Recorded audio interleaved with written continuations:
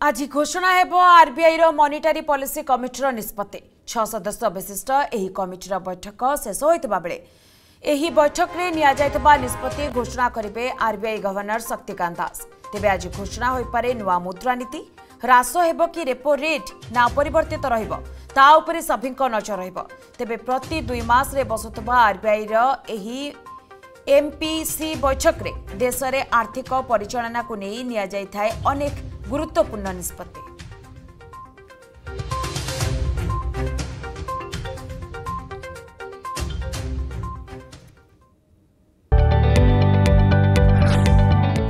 जदि आपंक आम भिडी भल लगा तेब आम चैनल को लाइक शेयर और सब्सक्राइब करने को जमा भी बुलां नहीं